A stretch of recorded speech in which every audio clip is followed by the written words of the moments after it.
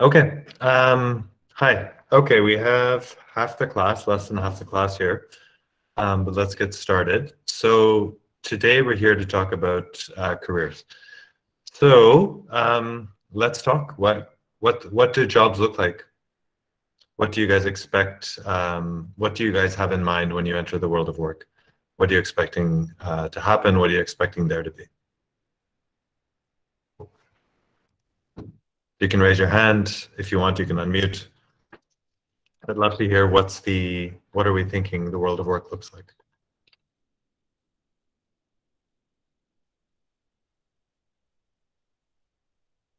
Just try. Somebody, yeah, Azaria. Yeah. Um. Hi. Um. So I'm thinking it's gonna be. Uh, well, it depends on the type of job that you're gonna get. Definitely um, but it's probably going to be one where um, you're not going to be uh, you're not going to be the owner of most of your time because um, you're get, you're going to get paid um, to do the work. And uh, a place where there are going to be a lot of expectations and um, if you don't perform uh, something that uh, something that's not going to let you grow to grow professionally or to the next level Sorry, why why wouldn't you be able to grow professionally, or if you don't perform, you won't be able to grow? Um, like if um not if like um there there are there are a couple of jobs where um it's normal to actually be lazy, um like uh so and also like types of jobs where that, that aren't gonna allow you to learn new things, um only allow you to actually do redundant things um, and so like I, I also read like one of the biggest reasons that developers change roles really often was um, because they weren't learning anything anywhere and they were doing the same thing over and over again. Um, so I think if that's the case on a job, um, it does get boring and it doesn't allow you to see new things. Sounds pretty negative. oh, okay. Uh, I, I, did, I didn't mean to be negative. Um. No, I'm just, but it's interesting, right? I'm just taking notes. So I hear that you don't have any time. You, they might fire you, and it's going to be boring, possibly. What are some positive things? Um. Okay, from my side. Yeah. Um. Okay. Yeah. Uh. So yeah, um, financial. Uh, financially, if if it pays well, it's one positive thing. Um, also, if it's uh, if it's a really good place, if it's a really good place of growth, um, you're gonna learn a lot. Um, you're gonna get to network and connect with a lot of people. Um, a lot of people that are going to help uh, later down the line. Um, mm, and also, like the mind needs something to do. Um, if someone was just given money and um, could do whatever they want, I, I don't think uh, the brain could actually sustain that for a long period of time. Okay. I'm actually going to just share this document with uh, with everyone. So everyone, if anyone wants to, they can just add notes while we're talking. Uh, just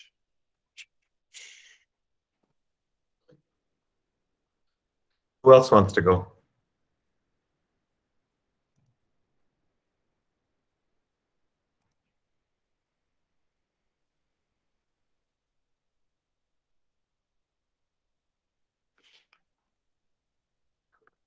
Okay.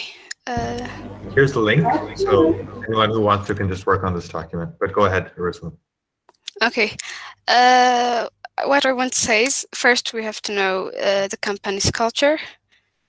Uh, knowing the company's culture is uh, somewhat uncertain. Going through it is what is needed. And the other thing is uh, you at least have to sh show some progress each day or just um, uh, in the week, at least weekly, showing uh, some progress is somewhat necessary. That's what I thought. Wells?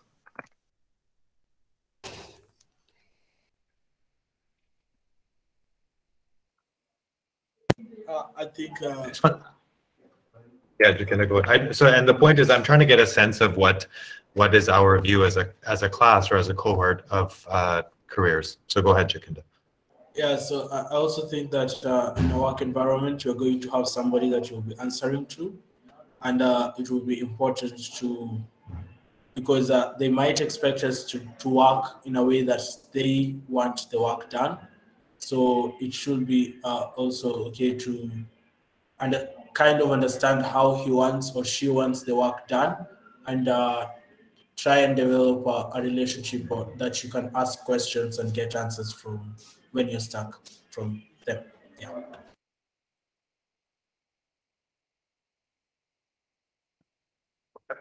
Uh, Barakat and then Fumbani. Yeah, uh, one of my thoughts about going like working remote or something is like being able to communicate uh, what uh, you are, we are able to do, like to what extent we are able to do, and understanding their needs, like like to what extent that we can achieve their goals is something that we can communicate and being able to communicate that thing is one thing. And the other thing is like uh, knowing how the company really works. Like i think in the first weeks or some some time knowing each individual uh, like their paths like their stand-ups and how they are doing it and trying to learn uh, more efficiently will be one of the things that we need to do i think okay thanks Fumbani. Uh, I think uh, being able to deliver the task that you have been given, and if it's possible, trying to exceed the expectations, and as well as understanding like how the company works, so the company culture. That's it for me.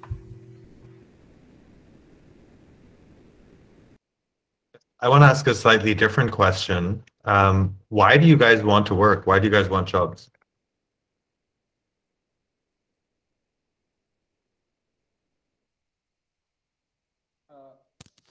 Can I go? Uh, Fumbani put his hand up first. So for the Malawi before Kenya, please. but I think for me, like the first thing I think would be like the, the financial security that comes with the job, and also improving my skills and being able, like being able to use my skills to do something which can have an impact uh, in the, I guess, in the world. Thanks, Jacinda there's the financial, the financial uh, parts, and there is also, the, okay, it's not security as such, but you get to earn some money, some money that you can use. You get to earn some money that you can use in your day-to-day lives, and also it's a stepping stone to your ultimate career goal. So you have to work to gain the skills to take you where you want to go. So yeah. And where where do you want to go? Uh, personally, I want to to become a machine learning engineer for a sports company, maybe uh, a basketball team or a Formula One uh, constructors team. So by getting a job, uh, it means that I'll increase my my experience in the different areas and also ultimately maybe continue and reach and reach and reach somewhere. Yeah. Okay. Who else? Milky? Uh, I also think it's uh, it's a way that we can understand the the industry. Like, um, well, unless you get a job and uh, get to uh, actually uh, develop these skills and uh, work on real projects, you won't be able to understand the industry. So that's something I presume else wants to go? Yes. Okay, thank you. Like when I think some of the reasons are like maybe the the financial thing is one. The other thing is like you get to work on like a real world problem that haven't been solved yet. So that would be a bit interesting. And also you'll be gaining more skills. Like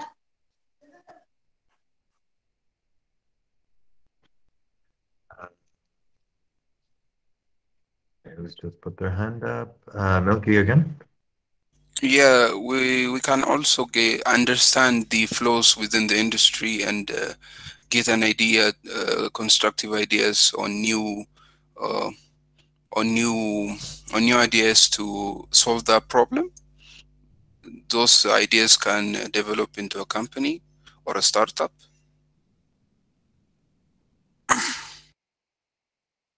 Okay. Uh, okay. Uh, who put their hand up? Anyone else who hasn't gone recently? So from we'll take Fumbani, and then if there's anyone else who hasn't gone, go ahead. I'm not sure if this has already been said, but I think also being able to like work with people from different backgrounds so you can have to network and then those connections can be useful in the future, I think. Uh, backgrounds, this could be.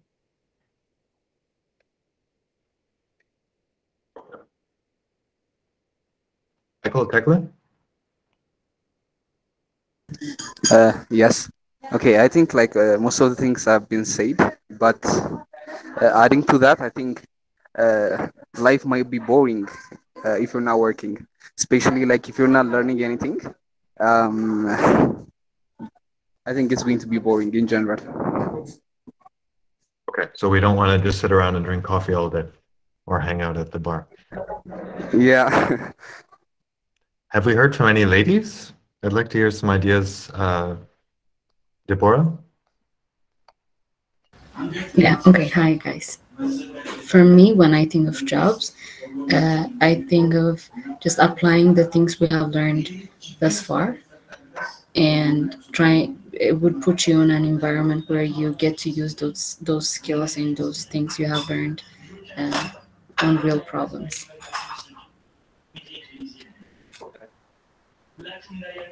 Anyone else? Bezawitlam and then Steshi? Um, from my side, when I think about uh, a job, the first thing I uh, I think is that uh, there's like different type of a job. A job that you will develop your skills and your talents, and also learn every day. And there's a job like someone said that that makes you lazy. And I want to be in a field of uh, a job that makes you upgrade and uh, be proud of yourself every day by doing something you learned and uh, like also the connection thing that they said that will also lead you to a good uh, future that you you think of like the startups or even have your own company something like that yeah. Um we have uh, stella? Uh, okay. I, I want to work because of all those reasons and also especially because i don't like being idle but uh, also if uh, if I can make someone else's life easy by what I do, that that would be really great. So if I can make a data scientist life somewhat easy, that that would be really great. Great. Okay. Not now. Okay. So uh, personally, when I think of job, the first thing I think is about the financial freedom. Uh, so I hope I get uh, some kind of uh, financial freedom. The second one is I hope uh, and I would love to get is like a, support from the company or senior developers on improving my skills and uh, yeah, that's what I expect and deliver good products after that. Okay. Thank you, Christian. Yes, uh, personally, what, what I think about job is that job is just an environment that you, you apply what you learn. But uh, before you need a good collaboration, a, a good communication skills, and uh, also I think you have to be also respectful. It's very important. And why do I need job? I think I need job because, as Natalia said, uh, we have to be financial. We, we need a financial freedom, and uh, uh, also it's also important to, to have, I think, to make friends and uh, to, I think, I think that's all for me. Great, thanks. Uh, Jerusalem? Okay, I do agree with all they've been saying, especially Steffi's idea, and also it helps us. It helps us uh, build a community. So it's to add that building community. Anyone else want to go? Otherwise, I would just summarize what we've heard. So what do we have? Um, so money is definitely part of it. Impact in the world, I think, is a common theme that we've seen. Um, money again, and then a stepping stone to something else. And so I think that there's the money side, there is the impact side, there is the um, learning side. So we want to make progress in whatever that we do. And the learning also relates to uh, understanding the industry better. Um, this is an impact one, I think. This is a learning one. This is a learning one. This is a learning one. This is a social one. And I think that these two are somehow related, that meeting other people and you don't want to just sit at home the whole day and do nothing. So what if what are we seeing? So so money is a trend, learning is a trend, uh, impact is a trend. We see that community slash passing time is a trend. Um, are there any others that we have missed? So money, learning, impact, and community and passing time. Are there any that we have missed if we if we try and summarize them?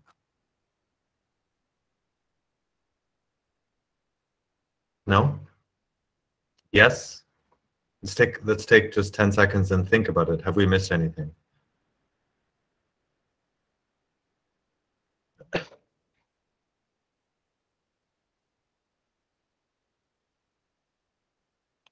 Is respect or admiration from our peers, is that something as well? Do we want to kind of say, wow, I think look, it's look, part of the community, I guess, the admiration and everything. It could be. I mean, community from my side is a little bit you make friends and you have people to socialize with, but Maybe I'm sure self-discipline. self-discipline. Okay, yeah.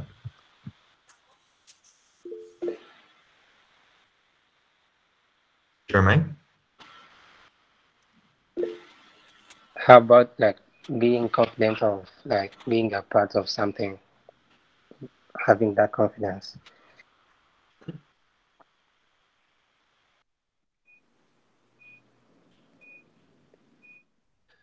I, I want to add. Uh, so I'm going to add the respective peers because I I assume.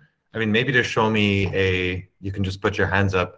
If any of you got a job tomorrow at uh, Facebook, how many of your you would be or your parents would be proud to say, look, my kid just got a job at Facebook, and that would be something that, yeah.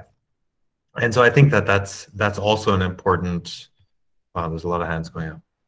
So now they're going back down. So I think that that respect is, if we consider all of those, I feel like we've probably covered um, most of the important points. So I don't know if Toyin and Christian, if you want to say something.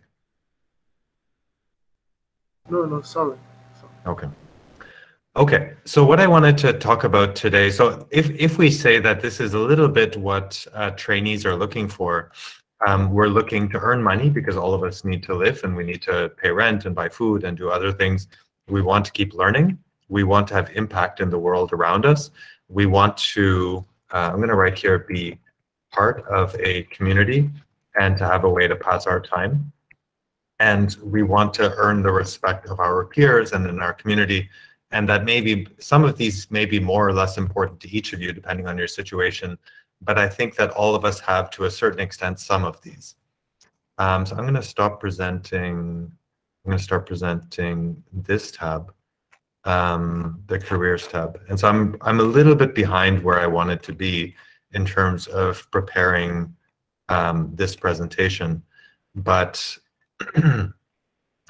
I wanted to, I hope this is visible. Christian, do you want to say something? Yeah. Yeah, yeah, yeah. I, I- want to know more about the part of learning. What I was supposed to learn when we apply the job. You're asking about learning when you apply for a job? Yeah, yeah, yes. Is that what I was supposed to learn? Yeah. So when you apply for a job or when you're in a job? Oh, oh, sorry. When when I already get the job, and So- I'm working, yet what are we supposed to learn during those processes? Uh, does somebody want No, to no, I think you can you can talk about your experience. No, I mean, I, I think it's an interesting question.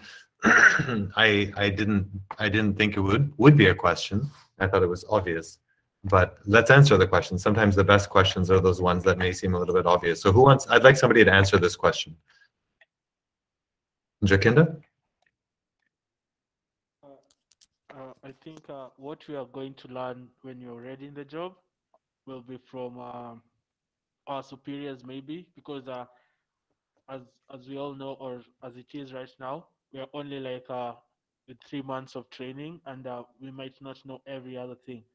So for you to become a guru at that one thing that you want, you have to to become a student of someone who's already that guru. So I think that uh, learning, we are definitely going to learn from our superiors, and also we are going to increase our knowledge from the community around us. So it's definitely a learning process, and I don't think that it ever stops. So yeah.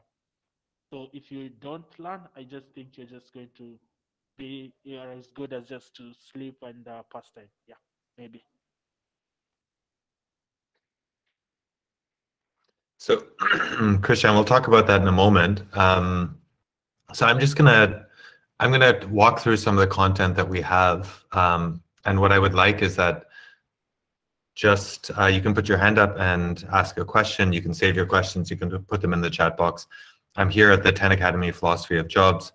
Um, so what is what are what are we trying to do here? Um, the reason that we've been doing everything that we've been doing um, is a little bit like this Karate Kid, the first original Karate Kid from the 80s.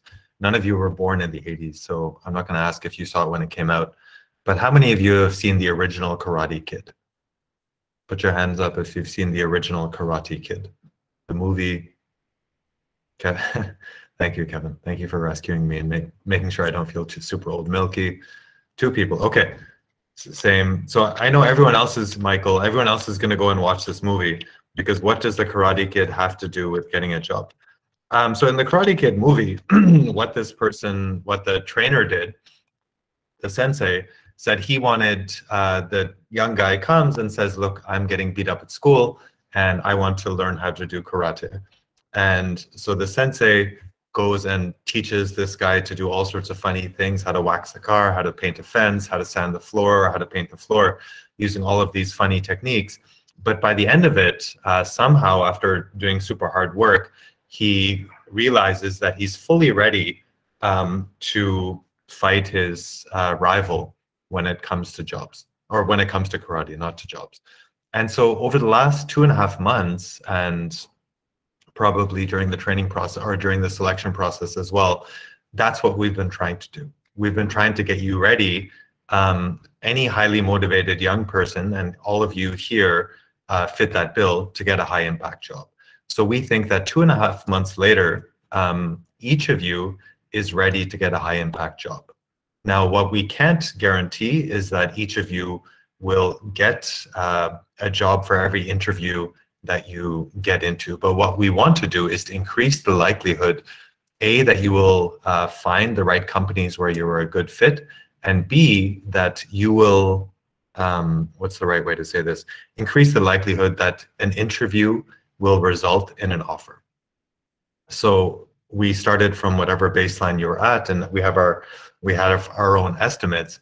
But our belief is that uh, if you follow our system, that you will increase your chances of finding the right company and getting an interview and completing the interview and matching into a high impact job will be much higher than it would otherwise. And so we have some ideas and we haven't written them down here yet.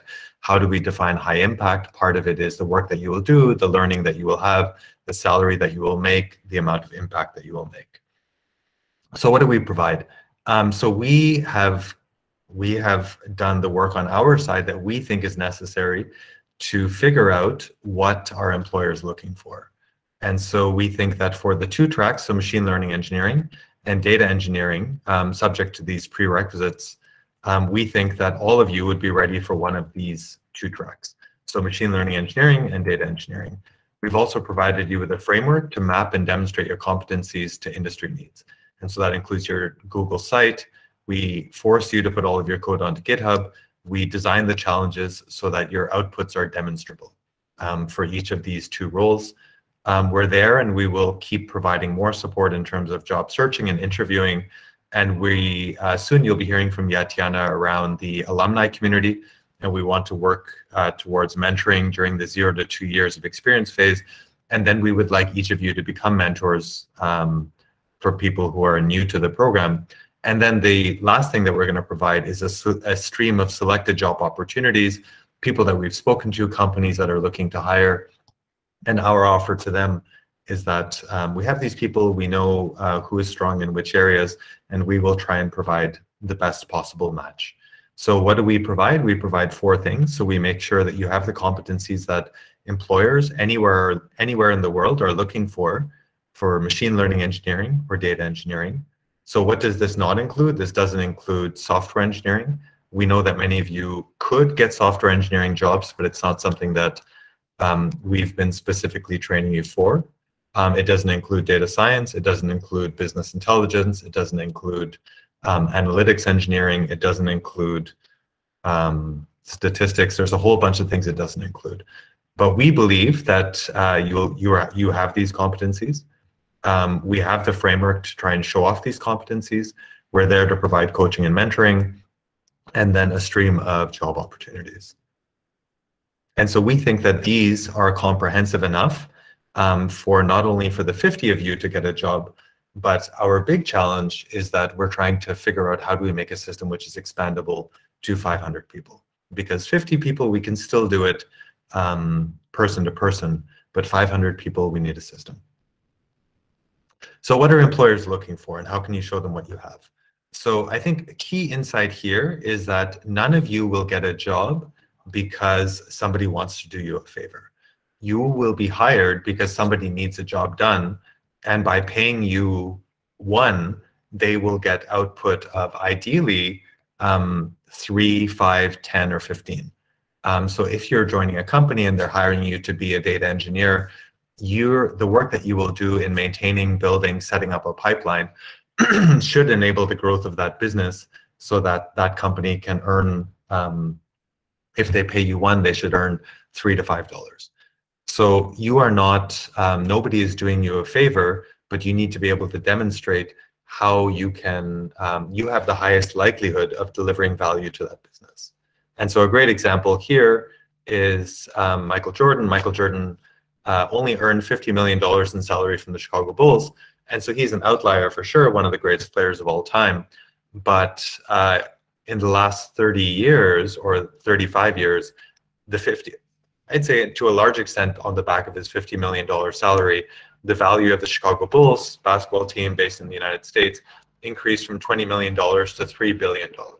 So important points. Um, one is that you are hired to deliver value for your employer.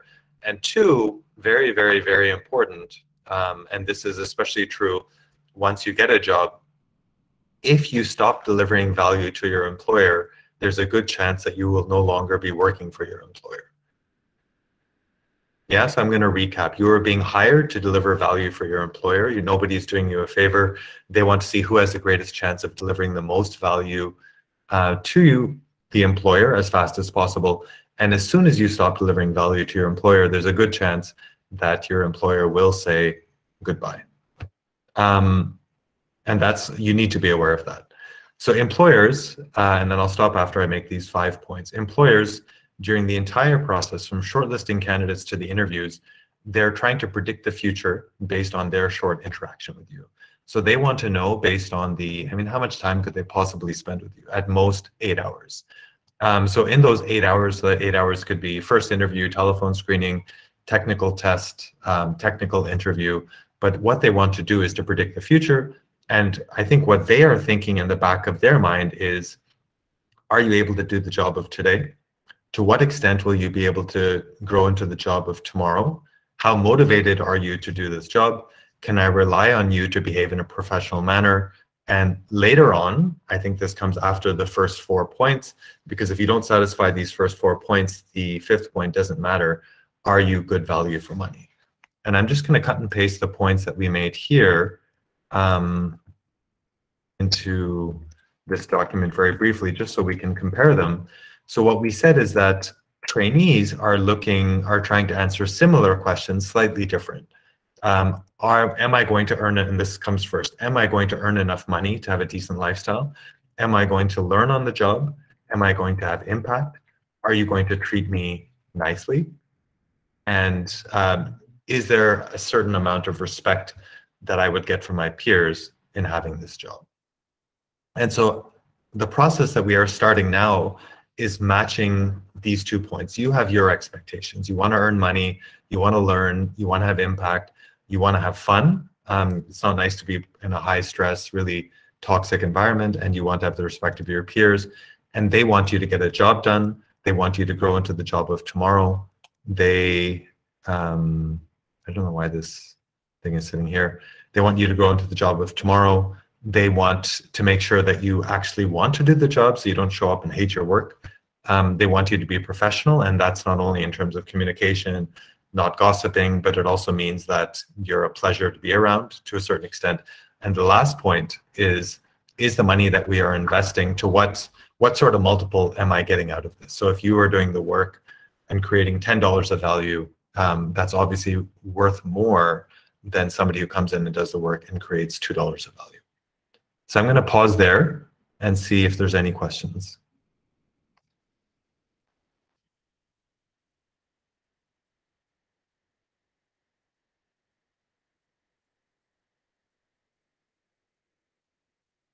Am I making any sense? Yes. Thank you, Jacinda.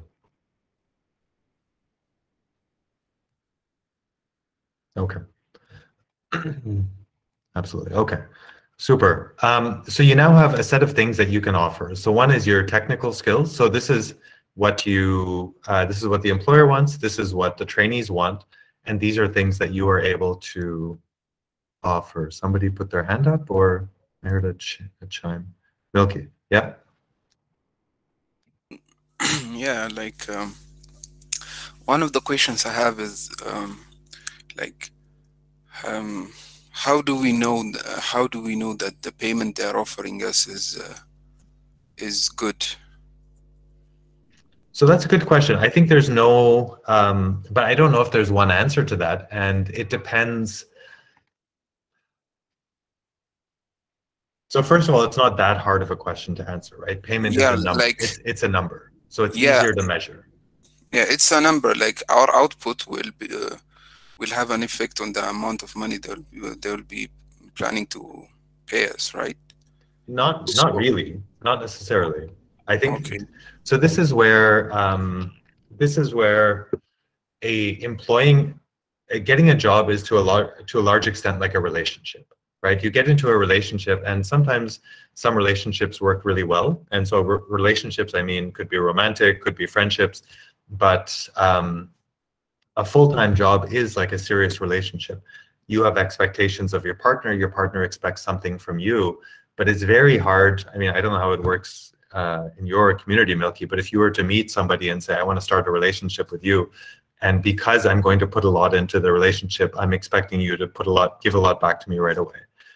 It doesn't work like that, right? So this is where we have to look at the signs and try and make a judgment call in the best possible way um, is this relationship going to be useful? And even if you say to the best extent possible that I'm going to be super productive and I'm going to work hard, that doesn't always translate into a higher salary right away. Um, sometimes there are other considerations. At the best company, you might have a bad, your manager might be going through personal problems, or maybe the project is being cut, or they have very strict salary levels. So it's impossible to predict, I would say, in the six month time frame, or it's it's we can only deal, I would say, in probabilities. So we can't say that you will definitely you're that in the six month time frame that the harder you work, the more that you will earn. But I believe that in the two-year time frame, that is absolutely true. So what that means is that sometimes you might, some of you may be working harder than other people, and in the first six months, that may not be directly uh, compensated in terms of cash. You may be learning more, you may be having more impact. Um, so using one very concrete example, if somebody gets a job at Facebook tomorrow and earns a really good salary, the other person that joins a really tiny startup and is responsible for building their entire um, technology backend from start to, from start to finish might only earn 10% of that person who works at Facebook salary in the first year. However, that person has probably learned so much more that after a year, they could go on and do something else and earn more, start their own business. So salary is only one metric. And I would encourage you to look at it as one metric but to accept the fact that in the first six that it's only in i would say the two year time frame that your salary you can almost guarantee that your salary will be commensurate with the work that you're doing. Does that make sense? Yeah. So you have a so if there's any other questions this is a good time to stop because it, it's really important for me I want us to change our mindset. Um, you have you have something to offer, but employers are also looking for specific things, and I think that we have to view. Um, you know, I know here here's my view. Many of you have come into the training program and the world of employment is kind of a black box. It's not exactly clear how it works. There's lots of jobs, and it's kind of you put your application out into the ether and you hope that it works or jobs come through by somebody recommends you or some friend um, helps you out. You guys are out of that regime. You guys are out of that system. With what you have done over the past two and a half months, we believe, and we want to showcase this, especially with batch four, that you have the skills that can be demonstrated and you can get good jobs. Um, so that changing that mindset from hopes and dreams into I have a concrete plan and this is the plan that I will follow because I understand what employers are looking for and I can increase the chances through hard work of me getting a good job quickly. It's that mindset that we want to inculcate. Desmond, you had a question? Yeah, sure. I, I just wanted you to maybe elaborate for me on point uh, number four. Um, if uh, one that says, "Can I rely on you to behave in a professional manner?" Mm-hmm. So I'd say I'd say there's there's two points to that. One is um, so there's the personal side of that and there's the professional side of that. So the personal the professional side first. So if I give you a task, um, is it going to get done on time? Am I do I know that it's thoroughly completed?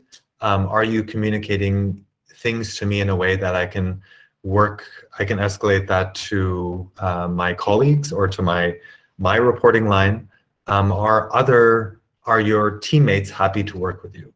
Um, so I'd say those are all those are all points, and I think we've seen that in week nine and ten. So some teams, I think they were organized super professionally. They communicated with their teams. They got their work done. They offered to help other people out. They knew that stuff that they submitted was probably tested and worked through. Um, and other teams, maybe they were managing and it was slightly more ad hoc, but it's that professionalism um, where you get done. And I, there's actually a checklist that I put in the, um, what is the name of the channel? Career, da, da, da, career questions that I'm going to put into the career manual as well. Are you doing all of those specific things which make you behave in a professional manner? So that's that's half of the side. The other half of the side is that we're all humans and we like working with in a nice environment. So are you a jerk? Um, sometimes, so I've had to work with jerks before and it's difficult. Um, are you a nice person? Do you, are you friendly to other people? Do you help out? If you're in a manager, a managing role, are your team are your team members going to be intimidated by you? Do you create a do you contribute positively to the atmosphere? Are you a gossip? Are you going to pull the team atmosphere down? Are you going to complain about every single little thing or are you going to make a positive contribution? So I'd say those are the two sides um, to professionalism. Yeah. Any other questions?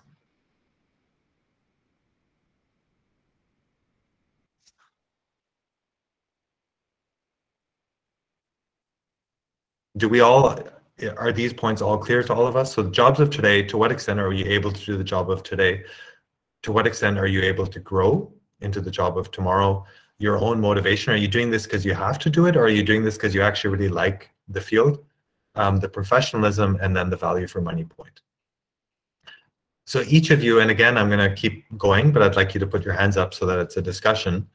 Um, so job applicants, you in this case, you have a set of things that you're able to offer. So your technical skills, your work ethic, your ability to learn fast, your ability to contribute to and to support the community, and your curiosity. And so I just want to highlight uh, these two points. Um, well, maybe even these these four points. So we have tried to design our program so that we can show off your work ethic the work that you are each of you is able to do and these weekly challenges with tight deadlines, forcing you to learn by yourselves, um, helps us to show off that, hey, when you talk to somebody, you can say, I got all of this done. And by the way, I got it done in a week by myself. I had to teach myself how to learn A, B, and C. And you can show the delta that this is where I was in July 2021, and this is how far I've come in two and a half months. And so showing that and being able to demonstrate that concretely. This is one of the reasons why we've really tried to emphasize this. And I feel like we've this we haven't done super well on this part of a big part of that is our fault. Um, the ability to support and contribute a community is super important when it comes to work. Um, the ability to communicate, to say where you are. And Nabil and Nahom had said this as well. I think Ting said this as well your technical skills are useless um, if you're not able to work as part of a team and help other and help others, and also to be able to showcase your curiosity. And finally, your professionalism. And so I just want to go through this mapping that we have here. Eventually, I'm going to get this into a nicer format. But the employer is looking for, are you able to do the job of today? And so you need to show this through your technical skills and your work ethic.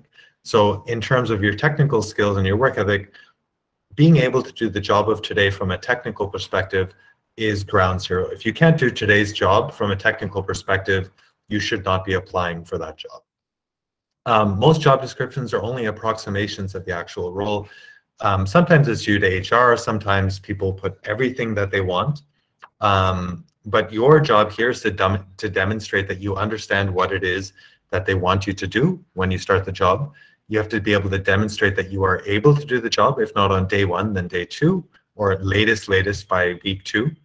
Um, if you're not able to do the job right away on day two, then explain what you would be, what you would do to pick something up. And so the example here, uh, you guys have all used AWS. If they're a Google Cloud Platform house, then okay, explain what are you going to do to map your understanding of what you know on AWS to map over to Google Cloud. Um, you need to be able to have a sense of where your role fits into the overall organization. And that's why the question that I was asking in today's stand-up is important. And these this graph, this really nice graphic that I like, which is part of the careers manual, um, and I'm going to show it just briefly here. Um, this is important. You need to be able to understand where does the job that you're applying for where does it fit into this end-to-end machine learning or data engineering flow? You don't need to know all of this because nobody knows all of this well, but you need to be able to meaningfully speak about whether you are um, here on the source side, ingestion, storage, historical, predictive, or the output side. You need to have some sense of that. And the graph that we saw from one of the groups yesterday was a great example of being able to demonstrate that. Have a sense of where your role fits into the ML engineering, the data engineering ecosystem and you need to be able to showcase and this is the advantage that you have that you will be one of the hardest working people that they have ever hired. So ground zero you need to be able to show that you have the to be able to do the job of today technically. You have your technical skills and you have your work ethic. Now each of these points um, this is where your profile page has to be able to demonstrate this. So through your video through good selection of your keywords at the top, through your one or at most two line description, through your GitHub, through your CV, and through your showcasing the work that you've been able to do. We believe that each that all of those put together um, is will be able to demonstrate that you're able to do the job um, that you want to do the job. You won't be able to explain point C, most likely. Um, to have a sense of this probably comes later on. And the hardest working people, I think this is where it has to come through um, either on the initial telephone screening, the initial phone call for sure, but there's a lot that you can do to showcase your your hunger to learn because that is something that cannot be taught, it can only be selected for. Your motivation. Um, we believe that um, we're training for at least 80th percentile. Why 80th percentile? It's just an estimate. It's not an exact number yet. But 80% of you will go into jobs where you will be expected to work less than you're working at 10 Academy. And so both Ada, Nahom, Nabil, three batch three alumni, they're working at hardworking companies and all of them are working less than they're working here. So this is one of the great things that you should be able to showcase to say, I am willing to work harder than people that you are used to. Um, and this is something which is rare and which is unique. Um, and uh, this is something which 100% of your uh, employers will find interesting. So how do you how can you showcase this? So showcasing the amount of work that you did uh, during a coding challenge, um, showcasing that I got all of this done week six challenge in one week and explaining um, what were some of the challenges. Your GitHub commit history is a big part of that. And then um, little things, if you're on an interview and they say, um, they ask you a question that you don't know, then you can do little things like, look, I'm not sure exactly what that is, but uh, looping back in a couple of hours and showcasing, um, saying that you've actually learned something about it. So these are in order. So the first is able to do the job of today, most important. Next most important is how motivated are you to do this job? Third most important is in terms of your career skills. Um, what's your professionalism like? What's your ability to contribute to and support a community? Um, each of you, each of you will have, um, Yabebal made this point to a subgroup of the people here. Um, we're preparing you for jobs anywhere in the world, and the the expectations on you coming from Ethiopia, from Kenya, from Nigeria, you are you will be to a large extent an unknown quantity. 10 Academy is not yet well known, so the expectation may not be very high. Um, and that means that you have to, each of you will have to work harder to showcase this. It means showing up on time for the interview. It means being ready with a backup phone number. It means having uh, being cleanly dressed. It means having a really good internet connection and a backup internet connection. It means making sure you don't get the time zones wrong. There's a checklist that's provided here, and I'd like all of you to um, use that. And then in terms of community and communication, um, that is, I've written up some parts here, but being able to, to communicate well, to ask questions well. Next week, we had hoped for this week, we're not going to manage it. Next week, we're going to do, do a tutorial on asking questions. But uh, from in terms of being able to do the job of today from a career perspective, demonstrating your professionalism and demonstrating your ability to contribute to and support a community are um, what employers are looking for. this is a subset of the point above, being able, reliance on you to behave in a professional manner. And there's some element of autonomy here so that if I ask you to do a task, I don't need to babysit you or to over manage you is also an important point, and the points are the same as above. Um, the next point, and this is not true of every company, but every employer, just like they want somebody who's hardworking, is uh, to find somebody who will grow with the company. So just like employee, just like all of you trainees said that you want to learn, um, companies or employers are also looking for people who are able to learn. And so demonstrating your ability to learn fast and demonstrating your curiosity. Um, asking questions is the single best way to demonstrate your curiosity. Um, for large companies, this is even more important. Small companies will tend to want somebody who can do the job of today right away. And for big companies, I was talking to somebody who works at Stripe, and he was laughing at me because he said at his company, and he used to work at Facebook, he used to work at Google, he was saying that they don't expect anyone to um, be able to do anything new or even to do anything more than what they've been told for the first six to eight months. So big companies have a process. Small companies want you to be, want you to be productive right away. So these are a couple of points on our um,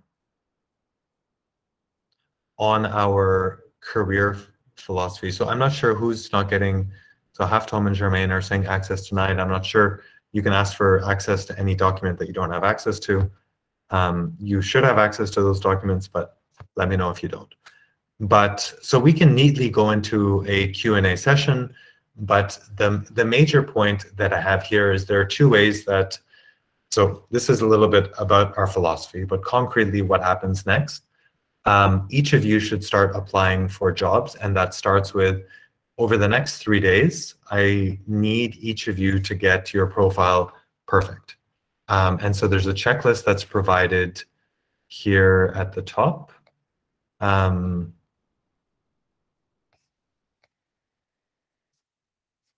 but before before we go to the checklist, I actually want to go through, and so all of this is is tapping back to the careers manual. If you don't have access to the careers manual, um, you need access to it. So the two roles, it's important to me that each of you picks um, ideally one of these two roles. Um, some of you may be ready for both roles. We've dropped ML Ops because right now it feels like it's there are not a huge number of jobs in the industry and it's also just getting complicated with three different roles. So we would like you to pick two different, one of the two roles. If you are super keen and super motivated, then you can say that you're open for both. Um, and so what have we done here? We've put together a listing, a pre-interview checklist. And why have we put this together? Um, is to help you also think about which of these two roles do you want to pick up. So this is for ML engineering. So you're ready to explain to an interviewer. You should be able to be able to explain um, each of these questions to an interviewer. And you should be able to show experience in each of the following. So I'm just going to cover the categories. Software engineering, data pipelines, and ETL. Um, a little bit less important than for a data engineer. Uh, software engineering, super important. What we're seeing is that in industry, machine learning engineering is mostly software engineering and productionizing, some productionizing of ML models. So this is, it's impossible for us to tell you completely 100% this is what it's like but this is what we are seeing um, large in a large majority. So software engineering, you know something about data pipelines and ETL, including some experience with databases. Um, you can do your ET, you can do your exploratory data analysis, strong Python, strong SQL, strong knowledge of Java, of JavaScript and other languages like React, Go, Scala, um, et cetera, et cetera. Some of the machine learning work that you've done here, so general machine learning and optimization, at least one specific case of NLP or computer vision, maintenance of and design of end-to-end ML flows. You have some knowledge of stats and ML anal and modeling analysis. You can use data science tools. You've at least logged into and used something on AWS. You don't need to be an expert. You have some knowledge of ML, DevOps, and CI/CD tools, um, some knowledge of visualization and dashboarding, and project management tools. And we think that you could quickly learn um, these three points, how to translate business needs into experimental design, um, working on or configuration of some of these AWS, GCP, or Azure, and things like infrastructure as code. Data engineering, we have something very similar. Um, so you're ready to explain to an interviewer these points here. You can explain this chart. They're all from the same venture capital firm. I like this uh, plot because I think it's nicely uh, laid out. And then in terms of ability to show experience, so Python and SQL production level, um, SQL and NoSQL databases. Very important is data pipelining, uh, ETL and orchestration. You can some uh, working on query optimization. So how do you get uh, pipelines to emerge faster? Airflow, Spark, transforming data, uh, how to merge different data sets, EDA, ML DevOps, CI/CD, a little bit less emphasis on machine learning, same data science tools, same visualization and dashboarding, and the same project management tools, and then a slightly different list of uh, what you should quickly learn.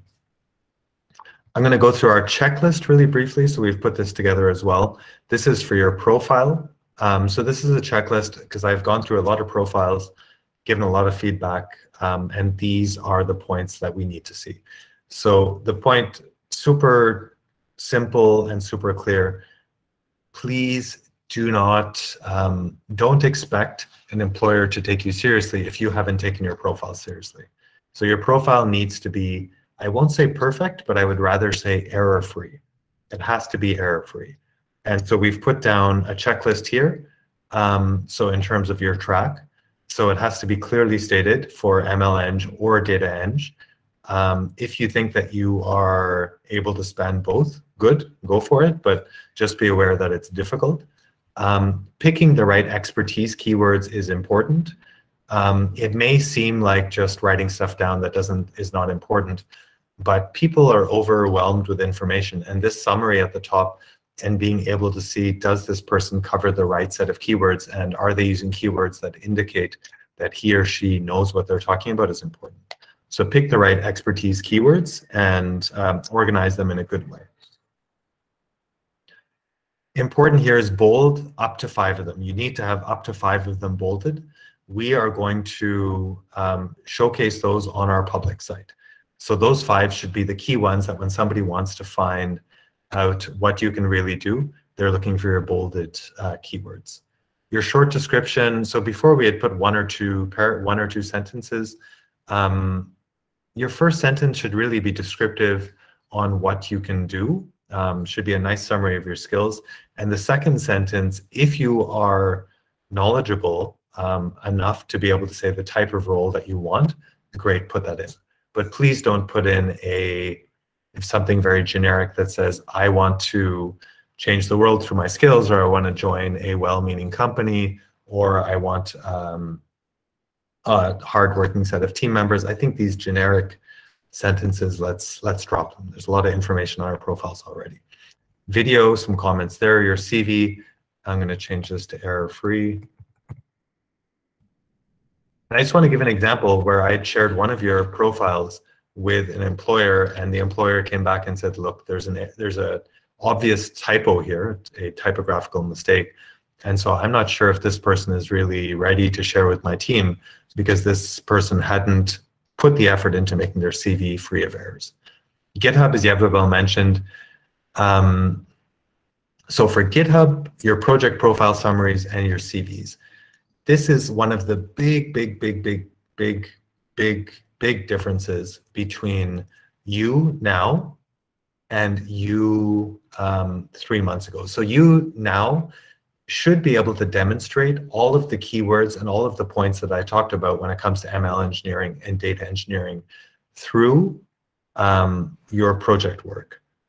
So each of those points must be demonstrated through your project work, through your work experience, could be a university project, but you can not only say that you can do A-B testing, but you can say, here's my code, here's my link to GitHub. This is what I did. This is some idea of the scale of what I did. This is how much data I had. This is why I think this is only an indicative sample because we didn't get enough statistical power to really make it demonstrative. But you need to comprehensively CV, GitHub, and profile showcase each of those points to showcase to an employer that you can actually do the job of tomorrow. So I don't want anyone to go into an interview and to say, I can do A, B, C, D, E, F, G, without being able to confidently say that I can do A, which is evidenced by project one, I can do B, and that's evidenced by projects two, three, and four, and I can do C, and here are a set of projects, and by the way, here's a link to my GitHub code. You can see that it was checked in on time. Here are some plots. We can talk through it if we want. You can look through my code if you'd like to. Um, and this is how A, B, and C works. So what we've tried to design, and this is going back to all of the Karate Kid stuff at the end, each of you has been quote unquote forced, has been forced by us to do um, all of this work, but the work that you have done ties very closely to what employers are looking for. And now over the next three days, I want us to tie all of this together to make a really solid tight, specific profile, um, which will link to what employers are looking for.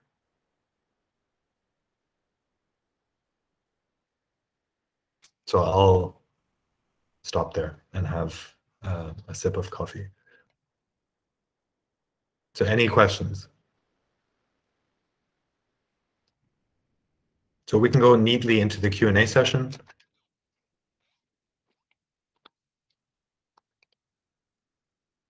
So people are saying access denied. Access denied to what?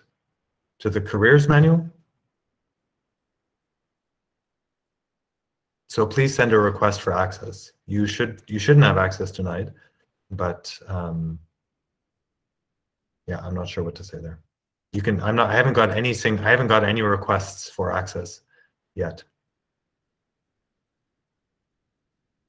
Okay, now I'm seeing them come in.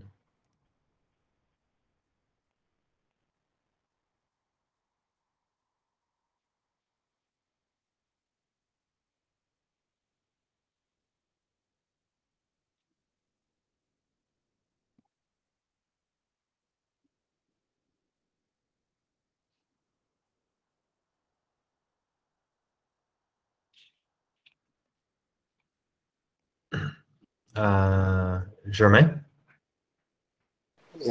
Yes. I, I would like to ask if this profile we are making, like, are being uh, updated. Like, if you want to update something, you can update, then being updated on the profile we shared.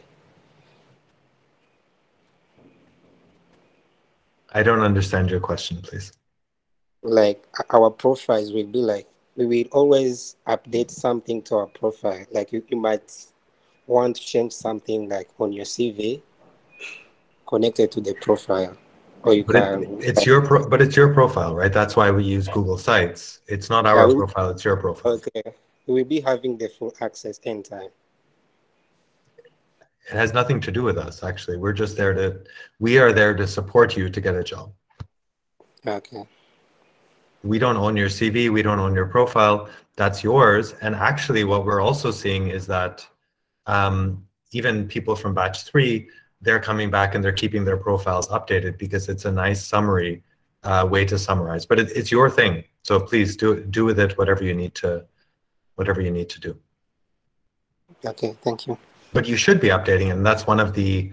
Um, so anyone who wants to be a data engineer should be should be making sure that week nine and ten is part of their is part of is features on their profile because if they haven't if anyone applies for a data engineering job and they're not showcasing um, that they've worked with airflow kafka and spark then they're reducing their chances of even getting an interview. Um, and so i don't know why anyone would do that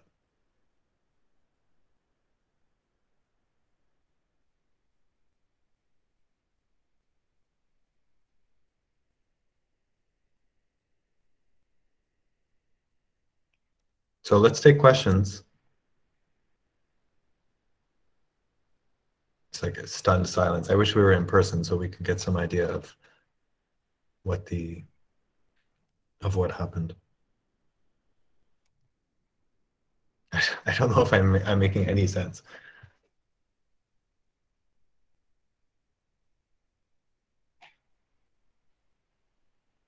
So Binyam, please unmute and uh, give me a give me a more specific question. Which broad class?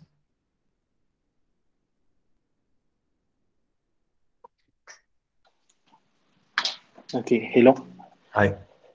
Uh, yeah, so um, the question that I want to ask is uh, we had a lot of uh, topics that we had to learn uh, in in the sense of machine learning, uh, in in areas of data engineering, uh, machine learning engineering, and others uh, other topics too. So uh, when we apply, if we are not confident with our technical skills, what do you recommend so that we can start with with work that does not demand a lot of technicality, just uh, maybe as an uh, as a da- data analyst or something that we can build uh, our career throughout. So, I mean, that's a. I think this confidence question is is a good one. Um, so we're asking we're asking you. I'm asking you to trust me that you are ready, because we've talked to employers. Um, you may not you may not know everything, but we think that you know enough to be productive. Okay.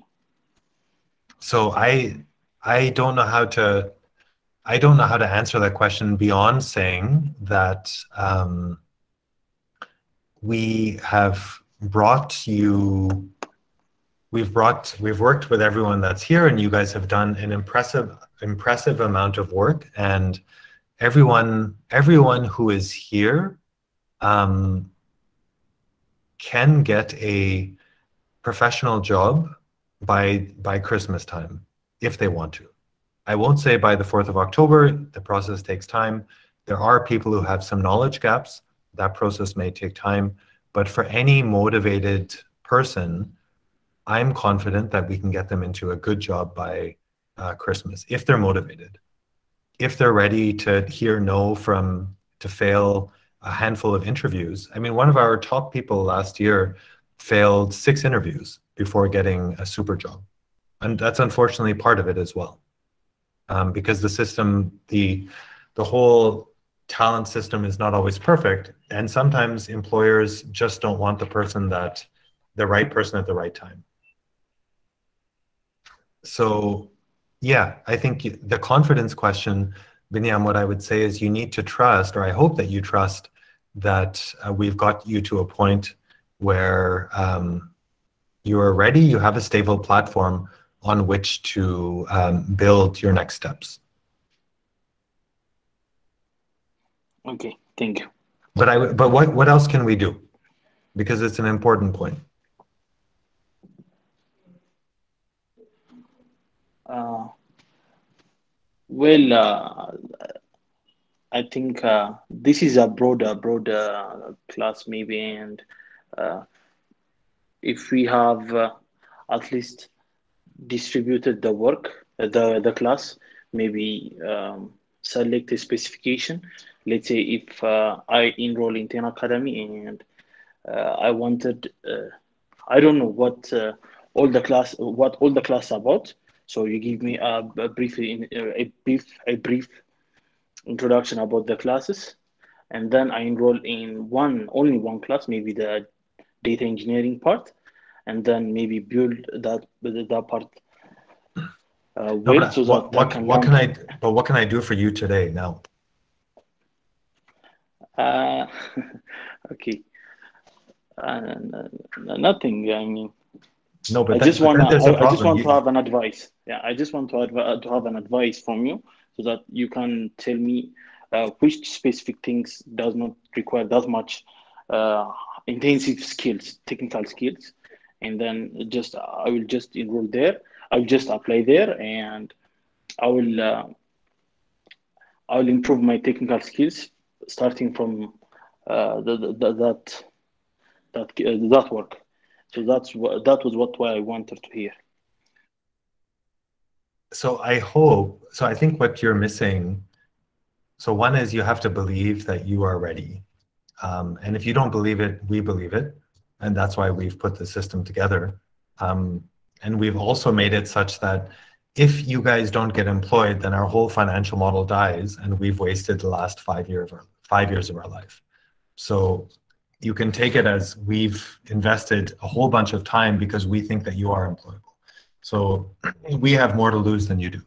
So you have to. It's we're not just talking, but we're actually we've made that investment of time and energy. Um, so from a confidence perspective, we definitely believe in each of you who have gotten this far that you're ready.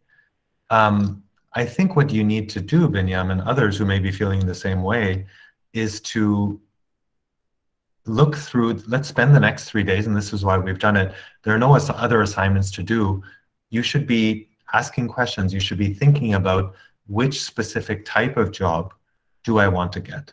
And then you should be telling us where are you um, what skills do you need to build? Maybe you feel like your SQL is too weak, or maybe you don't have a sense when faced with a problem of exactly um, how to approach the problem, or maybe you're not fully confident in your uh, software engineering. I don't know. I don't know enough about every person right now, but I think that that thought process is important. Okay. Okay. That's helpful. Helpful. Thank you. You're welcome. To what extent is confidence a problem? How, how are we feeling about confidence? Are people feeling a little bit nervous?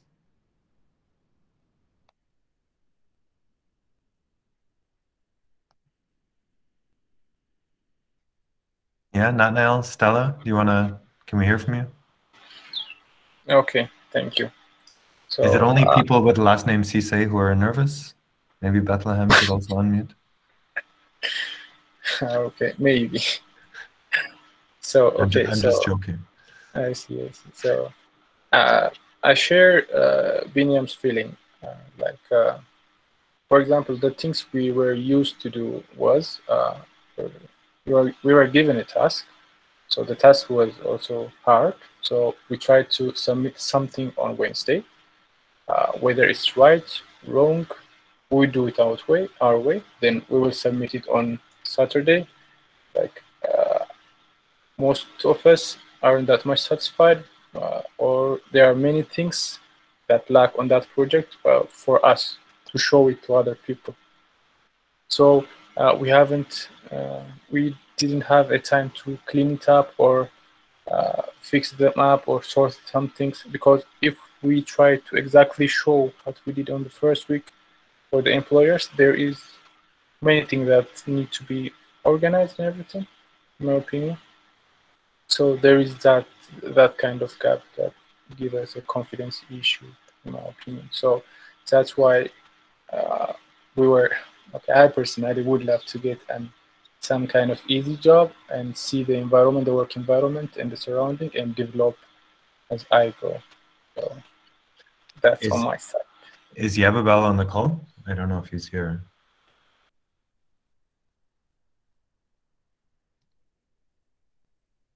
No, I guess he's not here. Okay, so so I would I would encourage each and every person here not to settle for an easy job. Please do not, um, because that's I don't understand why you would do that. Each of you came here to get a job, a good job, a high impact job.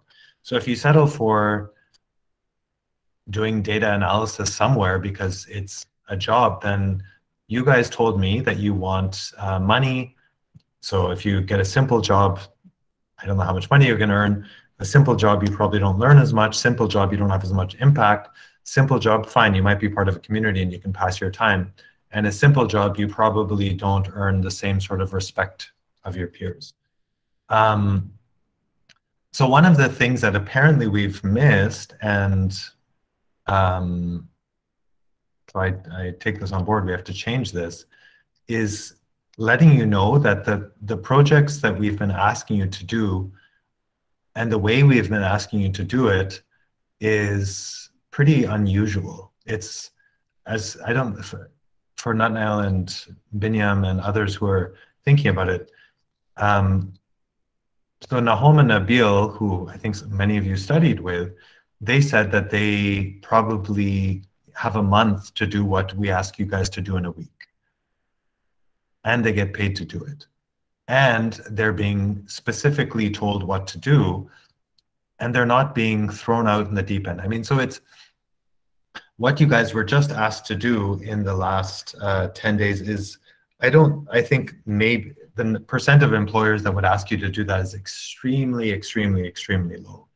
Um, the majority of you, what I would expect you to do, and if it's hard to say, but just to put a number, an estimate to it, um, is that you will be asked to maintain a model, a machine learning model, or maintain an existing feature, not design something completely new. Um, the same is true for the data engineers. You'll probably probably be asked to maintain something which is existing and not to design something completely new. So for those of you who are worried about it, I think it's good to bring it out. I'd like to hear about this. I would like to talk about it. But I want to reassure you that I think your pathway into work is um, you are more prepared than you realize. And this is why um, this is exactly like the Karate Kid. Please go and watch this movie where you guys are worried about work, but in the Karate Kid, this guy was going to get beat up at school. And he was really mad at his teacher because he said, You haven't taught me anything. I'm just fixing your house. And then he showed him how all these things led to him being able to beat this other kid up after school. And of course he wins and he gets the he gets the girl and everything's perfect. So you're more ready than you realize, but uh, I don't know how to make you understand this. Um, yeah, I I can only say that um, the the type of throw you in the deep end and sink or swim is actually to a large extent why you guys are here and those people who gave up during week zero are not. Um, and I think many of those people could have also managed, but a lot of them just decided like, yeah, just forget it. It's not worth it. I don't think I can make it anyways. But actually, all of you guys did persevere and you guys did a huge amount of work. Um, and you guys persevered and you keep week on week, you guys have managed to survive a really, really challenging process. I think that we're asking, we're probably asked, we've probably got you guys to do um, a significant amount more work than we've ever asked any other trainee batch to do. And the trainees that we've placed into work, they employers keep coming to us with super good feedback. So I can't promise you that the um, that it'll always be a direct pathway. I can guarantee you that many of you will fail interviews. I can guarantee you that many of you will um, have a job and then lose a job because it didn't work out or the manager was a jerk or the company ran out of money or whatever. But I can also guarantee you that if you stick with this system of you guys um, have enough knowledge, you have the work ethic, you have this mentality of lifelong learning and you have the mentality of I will succeed along with and because I help out and I'm helped by my community, then I think that system will get you much faster up this money, learning, impact, community, respect pipeline than um, not trusting yourself or not trusting us and falling off that pipeline.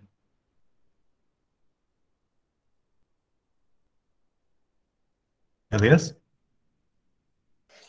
Okay, on the point Nathaniel and uh, Thomas raised, like from my perspective, like if you if you don't take a little bit of risk and if you want a job in like where you are 100% aware of every concept like you it's probably hard to get a job like that. Plus you'll probably not learn that much. So i think always you have to be like ready to learn and also take a little bit of risk. And even if like when you get a job like if you know every concept but after that like you cannot really be sure like there is not going to be a new task that would require another concept so like having a perspective that i will be able to learn anything new would be a better perspective when i think about it so can I ask a show of hands here before I go to Zelalem? Um, how many of you feel like they're ready to be parents? Or they could at some point in their life become a parent. I'm not saying today, but they could at some point in their life be a parent. Be a father, a mother. So I think everyone has raised their hand. So none of you have ever had children before but you guys, each of you trust yourselves to be a parent to a child, which is surely much harder than doing somebody's machine learning model. And none of you took a class in parenting, but it's the same sort of approach. You guys have been raised and you have enough life experience and you've watched your parents and your uncles and your aunts and your grandparents. And you know that when the time comes and you have this tiny baby in your hand, that you'll figure it out. And you figure it out as you go and you'll make mistakes and so will your kids um, but you trust that you'll figure it out. So if you trust yourself to raise a human being, please trust yourself to do somebody's simple job and earn your money. And if you don't trust yourself to be a parent, then that's, um, yeah, I mean, then we have to, I'm not the right person to talk to. You should go to whatever your religious faith is, because I can't help you there. Yeah. So you, yeah, Yosef's saying if you don't trust yourself to be a parent, then that's a red flag. Um, okay, uh, Zelalem, you had a question. Okay. Yes, thank you. you mentioned about that uh, one of the batch three employees, after failing uh, six interviews, got a super nice job. So yeah. what I want to ask is, uh, I was just assuming that he he or she were applying for the same position, more or less the same. So is it that different companies are looking for different things in that position? Or is it that uh, the thing that you mentioned about big companies don't expect you to do a lot in the first uh, periods, and small companies uh, expect you expect uh, a lot from you? I mean, uh, what were probably that you have So- observed? You know, I don't know exactly what happened there. Um, I still can't fully explain it, but I think that this this is why I said in response to Milky's question about money, I can say in the two-year time frame it will work itself out. But sometimes it's it's like a relationship, right? You know, you wonder why if people are looking for a relationship, if they sometimes you can't find the right person or you know, why does a relationship go bad? Sometimes it's, I don't know, bad stuff happens, or it's just not a great fit, or it's it's hard to say. I think in this case, during the interviews, for whatever reason, this person wasn't able to showcase his or her skills in the way that the employers were expecting. And yeah, I think the best thing that this person did was to have the right mindset of saying, I'm going to take each and every interview as a learning experience. And um, each interview got better and better and better. And the maturity that came out towards the end was the thing that uh, last that resulted in a um, in a really good uh, in a really good job. And so what I mean, I can share my own experience with Ten Academy in terms of raising money. So we at the start we were we had some success probably on the basis of um, probably on the basis of personal contacts or things that we had done before. We were had some success at the start, and then we entered a three-year phase, which we're just hopefully getting out of, where nobody wanted to give us any money, and we had to keep learning about what it, what exactly is it that we can do well, and to take every rejection or every discussion as a learning experience. So the courage and the strength and the um, and this is where I think it's actually good for each of you to have each other that you can call each other up and say, look, you know, this this employer just rejected me and I got a no, and that kind of stinks. Um, so you know, just I don't know, watch a movie together or just tell bad jokes or cheer the other person up, and then yeah, then it'll work out. But I, there's no one answer to that question. All, the only thing we can do is improve your likelihood of getting um, getting an interview and converting that interview into a likely job. And my dream would be that we can predict um, we can get that up to 50%. That uh, and I think actually we're there for many people. When I tell people, I was talking to a really experienced data engineer on the weekend who works for um, one of the big publishing companies, Springer Nature, and he was like, he says he hasn't even learned Kafka. So he's working as a software architect, and he says Kafka's been on his list to learn for a long time. And I have no doubt that you guys don't know everything about Kafka, and you don't need to yet.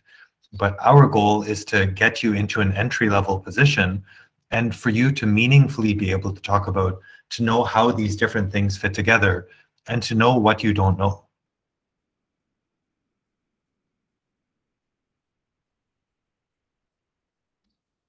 Yeah, and I think what Milky has said is true, that the learning process, um, that's important. Don't get down with rejections and don't get nervous because there will be other interviews. Um, one point that I want to make, and we've tried hard here, and I think we've gotten there. I don't know, but I think we've gotten there. We, if we want your um, sphere of applications not to be limited to your home country, but to be anywhere, anywhere in the world. And that means that all of a sudden there's a huge number of potential job opportunities which open up. Um, and that's useful because there are, by my count, I don't know, 50,000 machine learning engineer jobs open today. And if we keep narrowing it down, so some of them don't want remote workers, some of them want same time zone, some of them want US citizens, some of them want lots of experience, but we're only 50 people. And so, and yeah, with the 50 people we have, um, we are if you stay motivated, you follow our system and you keep putting, what is our system? Our system is you guys have already done the work. Now just uh, showcase it in a professional way and be optimistic and be hungry in the same way that you've been optimistic and hungry and put the work in. And this is what we can't teach you. the perspective on how things fit together, the confidence to say, this is what I think is important to learn, and this is how much I know about it, and this is what I don't know yet, and this is how I'm going to reframe that. That that that you guys should discuss, and you have to think about it, and you have to read a little bit, just like you read about Kafka and Airflow and Spark, and make that work in your mind. So let's keep going with questions. We have a couple more minutes.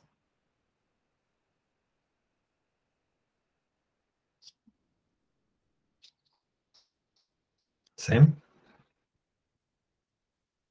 So how my question is going to be about how do we make it apparent to employers and people interviewing us that even if we don't know specifically everything they want us to know, that we are capable of learning it? Because as you said, they have an expectation that we bring more value than the resources they put into us and they want everything at least as much as they can get out of hiring the single person. So how do we make that apparent? So you guys are so we've done that work for you. We believe that in what we've uh, decided to teach you it is the right skills to get an entry level job in these two fields. So this is, if you look at this checklist, I believe our, our hypothesis is that if you can fulfill all the points on, I'm going to show you, sorry, some uh, mosquito here. Uh, ta, ta, ta, I'm going to present something. Our hypothesis answers this answers this question. If you can do all of these, then we think that you are ready for a entry level job and we think that you've covered, we've covered all of these points, right? So we've covered, except for software engineering. Um, but many of you, this is where we were always clear that if you want to do machine learning engineering, then you need to be able to work on the agile approach, testing, unit testing, QA, um, some experience with different databases. Um, so this one, maybe we haven't done as much, but you can pick up that experience. You have done uh, ETL, you have done EDA, you have done Python, SQL, we may need to work on JavaScript. If you have a software engineering background, you have it anyways. You guys have done all of this, you've done all of this, you've done all of this, you've done all of this, you've done all of this, you've done all of this, and you've done all of this with us. So that's that's our offer. That's what we wanted to do.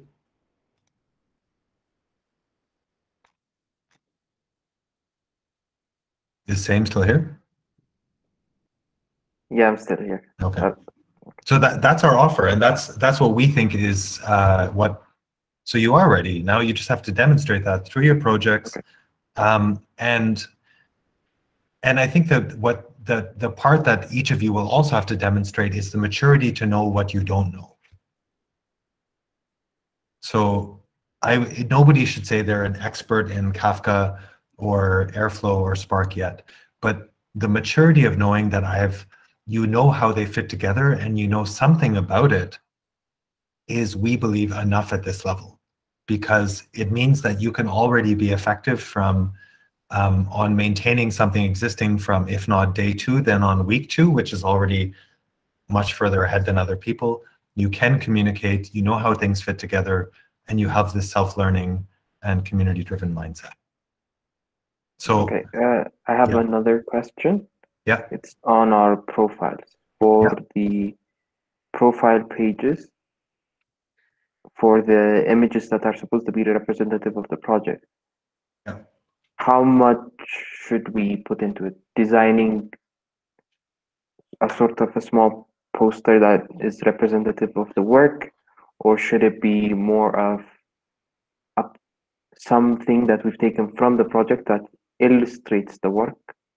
Because how much effort is too much and separates it from the message that we're trying to send so i think yeah i th- so you're i think what you want is that if somebody skims that they that they're interested so i would put more effort into the really representative projects so for the people who are going for data engineering jobs they should showcase their data engineering product projects a little bit more um, for the people who want to go for ML engineering jobs, there's probably one or two projects that are really fancy and nice that they want to showcase. So they should use, um, they should showcase those.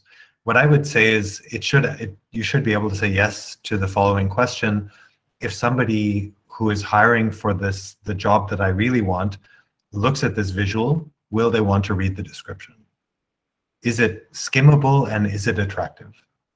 Does it stand out? So just putting any graphic there doesn't sound so useful, but people will skim your CV and they will want to get a sense of, hey, this person is doing something which is probably related to the work that I'm doing and I want to know a little bit more. And so I think this this goes to another point. What aspect of the projects are you showcasing? So you've done predictive modeling during the um, the pharmaceutical sales prediction. You've done A/B testing. Um, you've done the telecoms data analysis. You guys have done sentiment analysis as part of your week zero project. Um, you did the speech to text and the natural language processing. You've done the data engineering. You've done the causal graphs. You've done an ETL pipeline in your Python um, package. So what aspect of that do you want to showcase? And so I think this is where over the next uh, three days, it's it's not only about the work. You guys should actually talk to each other and think a little bit. What type, if you believe us that we will get you ready for the job of tomorrow, um, then you should think a little bit more about um, what is it that you want to you want to showcase. But it should be attractive and clear and it should be relevant to that technical skill. Daniel? Okay thank you. Um, what i wanted to ask is during our interview session is mentioning our uh, weak sides for example saying that i know this skill but uh, i'm not expert at it. Uh, is that a is that a good thing or uh, do we have to hide that part? Never hide it but i think i think instead of saying i'm not an expert at it why don't you qualify the amount that you do know about it? So you can say i've uh, this is what i can do and this is this is how far i've gotten and this is what i want to learn next is another way to say the same thing in a positive in a positive way it's just like it's just like a relationship, right? You would never say, um, "Look, I'm I I tend to show up late to dates and I don't have much money, um, so I'm not going to be able to buy you dinner." You should then because this person will never call you back. You should probably say, "Look, I'm still working on getting a new job. This is the type of course that I'm doing, and so hopefully next time I'll be able to buy you dinner." I think. I mean, I don't know how it works for you. But I think showcasing, um, you know, even showcasing what you don't know and the fact that instead of just saying I'm not an expert at it, being able to qualify the amount that you do know gives a lot of information and it gives a lot of maturity. It shows a lot of maturity. So I would just answer your question, take the same thing, but phrase it in a way that shows you know how much you don't know. And that's that's actually the hardest thing. I I heard this quote once when I finished uh, university, where and after your undergrad you think you know everything, and after your master's you realize you don't know anything, and if you finish your PhD you know what you don't know, and I think that's uh, to a certain extent the depth. Jacinda. Uh, I, I have a, a question. Uh, it, the when you're going through the the interview, you said that uh, if you're asked about uh, uh, maybe a skill or a or a piece of technology, and you say you don't know about it, you say that have we can revert back and after reading and uh, talk to them about it. Are we supposed to do it uh, via email? Like uh, earlier, I had an interview with you, and you asked me about this, and I've done some reading, and I I believe, is it something like that? You could do that, right? I mean, what it depends on the. This is where it's it's hard to give you a concrete answer.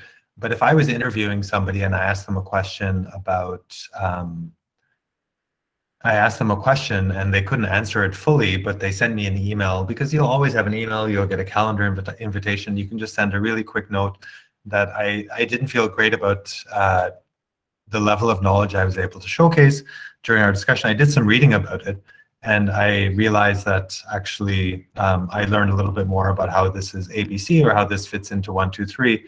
Um, it goes back to this this kind of mapping that we said. So there's doing the job of today, and there's your work ethic, and it's rare to find somebody who will take the effort. Um, and this is this is kind of a meta point. You guys are much harder working than the. Um, you guys are sort of, I would say, 95th percentile in terms of work ethic.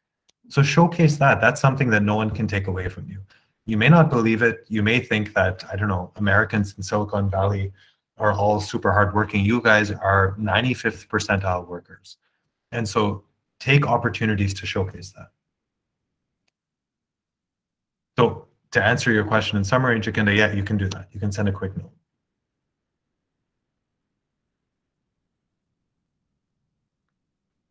Any other questions, guys? Do we, does everyone here uh, not know which track they absolutely want to pursue?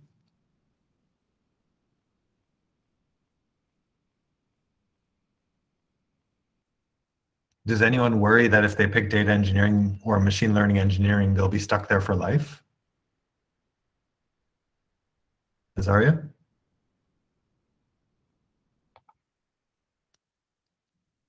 Um, yeah, um, like uh, you you said unsure, right? Yeah, I said unsure. Yeah. So you're not sure. Okay. So what are you thinking?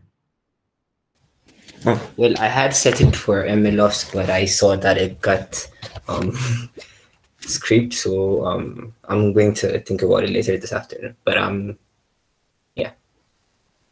Uh, but I'm so going towards some machine learning more or less. The machine learning engineering. Okay. Anyone else want to discuss their their point? You guys can also schedule a one-on-one. But the, the point I wanted to make here is that there's a difference between your first job and your career. And this is only one step on your career journey. So I wouldn't be too, I wouldn't worry about it too, too, too, too, too much. Um, I would rather pick one. Both fields are growing. There's huge opportunities in both. So I would rather pick one and then try and maximize um, the the type of job that you can get. But I, I think it's they're both there's big opportunities in both.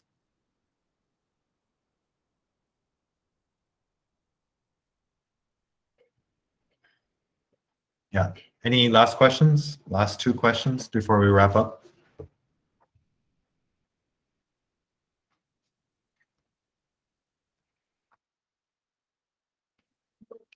So let me ask a different question then. Um, we come into this with our own, we, we, the team, come into this with our own biases.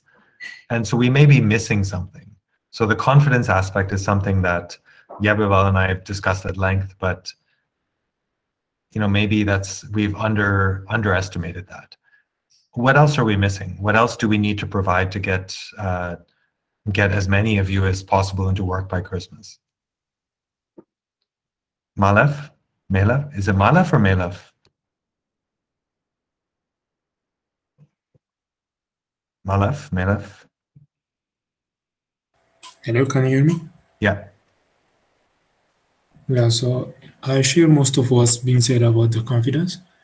And uh, I'm not sure, maybe if you could take a look at what, what we've done and advise us a specific track, I think that would help uh, greatly. Okay, I would say the clear distinction is if you um, if you are comfortable in your level of software engineering knowledge, then machine learning engineering. And if you want us to put a rubric together for that, we can try. Otherwise, data engineering is open to is open to everyone. Everyone here is ready for for that as well. So mock interviews, yeah, I think that we um, we definitely have to do that. Um, yeah, we have to we have to provide feedback. One of the challenges is just how do we operationalize that. I think if we were doing this in person, then you just interview each other and then you can walk around and give tips. Um, yeah, maybe we should stage a mock interview and ask questions. I don't know exactly how to do that. We'll think about that. Um, what else? What else are we missing? So is is this point about not being sure of which track to to pursue? Is that a is that a major point? Is that is it too free to say pick whatever you want and here are some guidelines?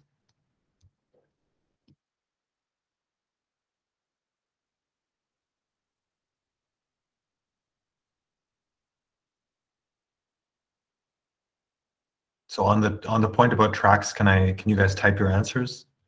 Is it too free, or is there are, is there enough guidance?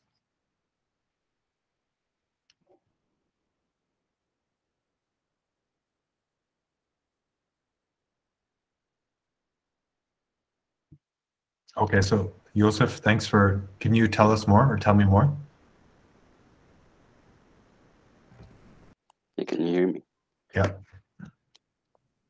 Yeah, well, by vague I mean that uh, it's not it's not that clear that if we want to pursue in data engineering and MLOps and everything. I mean, obviously, the machine learning perspective is going to be a little bit difficult if you don't have some software background. But but even with the difference between MLOps and data engineering, uh, it's I mean the projects that we've done, we're not really comfortable in them and I know that you guys are just seeing that if we're productive enough, we can just pursue it more, and that's what it counts. But uh, I mean, the track I, we really don't know about how how the demand works, how the working environment for the for the data engineering and the MLOps thing really is. So I think I think this whole thing should be, I mean, can be more clear if we have other trainees from batch three or batch four, you know, talk about us through this how this how this job application went through for them. I think this that would be much more efficient and gives it an edge to this whole vagueness that we have. That's my thought. And that what what is the vagueness? Is it about the track or is it entering this unknown field of uh, applying for a real job? The track, the, the track is a little bit vague, and also with the job. I mean, if I, for example, if I if I'm assigned to do some data engineering, what kind of time do I have to? Uh, if, for example, just let's assume that this whole week nine and ten is a job that I have, okay, and then that's a job. So I'm assigned to do some Spark on it, some, some Spark spooky stuff, some coding and everything. So will it be like this? Will it be like the in Academy, or will it be other person assigned to me? Am I the only one working there? You know, it's not that much of an i mean we got the whole idea of how things flow but there's a little bit of something that you can sense that it's missing mm-hmm. and i'm trying to figure out what is that something and how do we how do we bridge that gap mm, yeah so i think it's much better if we just have uh, this employees or data engineers that is working from remote job just like the job that we aspire to do I think they can be much more informative. And from experience, that I, I know that we can learn something. Last time Nahom and Nabil came, and they told us many more, many more, much more things and useful stuff. We learned things. I mean, tangible, applicable things. And um, I think if we had another session like that, specifically for the tracks and for the demands, the work of, of the of what the job, uh, the recruiters, job recruiters actually want, and anything that would be much more helpful, I guess. Mm. One session. That's what I thought. Okay. Yeah, I mean, I, I'm not, I'm not pushing back on you on this. I'm not. I'm actually trying to understand. We can, we can get our alumni to come in. Um, so I see Jacinda's question uh, as well. I mean, so we are. One point that I also want to make is they are. It's these are almost approximations, right? So there is no one ML engineering job that everyone in the world tracks to, and there's no one data engineering job that everyone in the world tracks to. And you might even have the same within the same company. If you're there for a couple of years, you might be, it may be called the same thing, and your actual responsibilities may change. Um, Jacinda, yes, of course, you, one can change. This is where our goal is to get you your first job. Um, and you can, you'll have to make your own career path after that. But there's a, what I'm hearing is that we've, this artificial environment, this artificial training environment that we have, it's the gap between what we have now and what the real world will look like feels feels very real and perhaps I don't know if the right word is scary or people don't feel necessarily prepared for that. And so I'm trying to think through I'm trying to think through what we can do there. Um, Stella?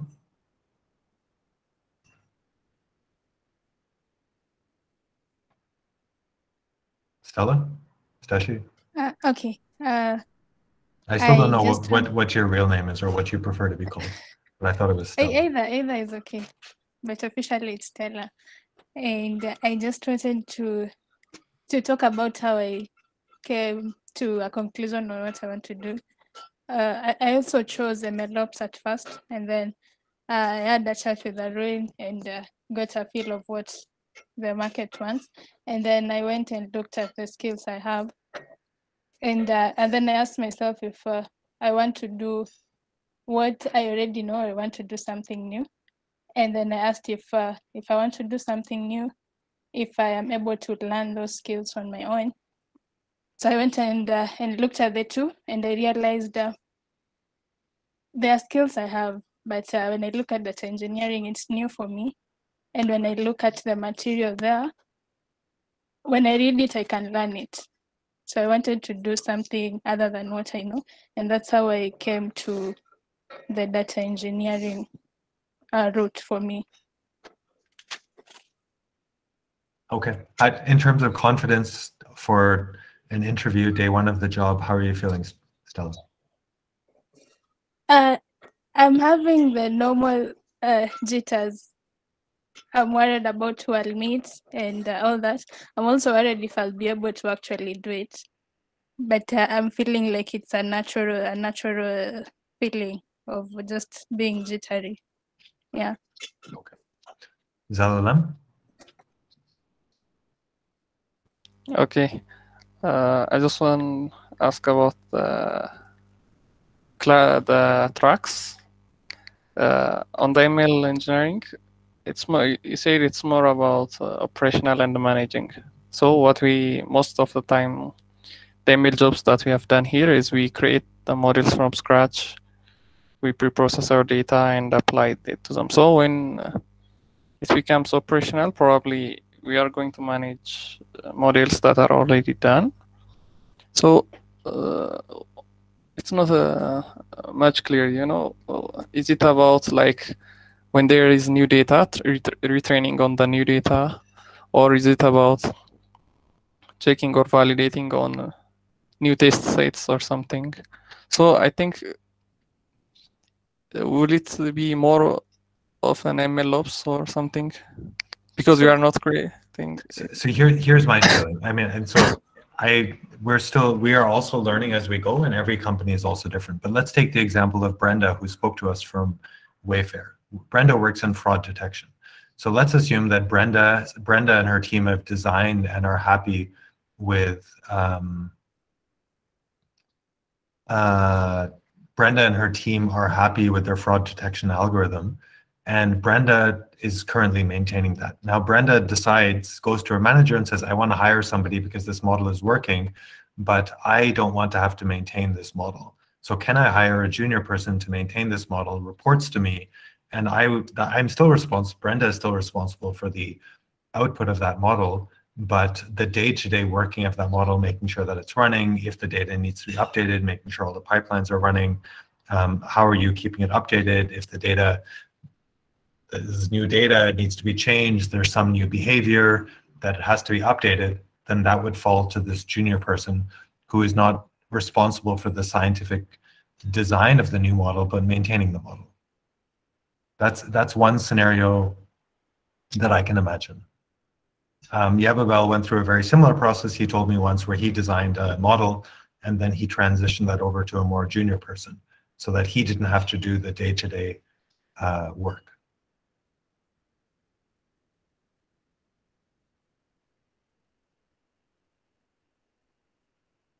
Does that, I don't know if that answers your questions, Evelyn.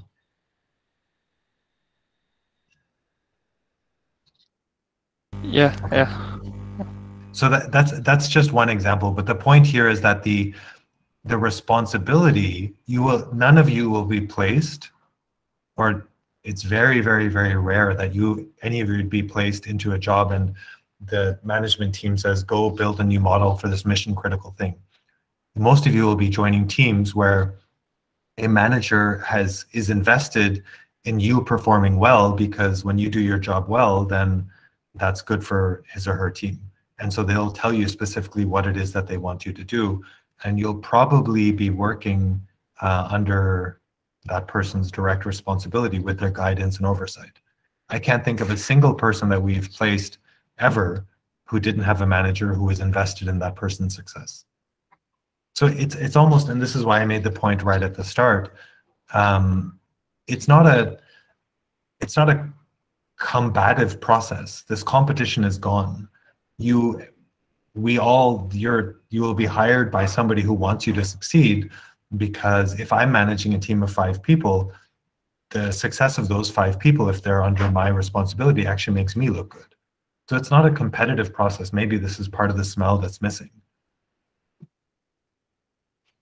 But yeah, there's something that we haven't uh, this that we haven't successfully bridged this gap of what the real world looks like. I think this competitiveness is something that um, we've gotten it wrong. The world, the the world of work is less competitive than I think most of you um, most of you realize. People show up, they do their job. Of course, there's a little bit of you know people want to be known as good at A, B, or C, but actually everyone wants their own to be successful. And I think weeks nine and ten we did quite well on that, where at least from what I could see, it was much more cooperative than some of the previous weeks. And I think that was a good example. So data engineering, yeah, we'll look for a data engineering guest. Um, we haven't, I have to look for that person, so I'll, I'll put that on my list of uh, things to do.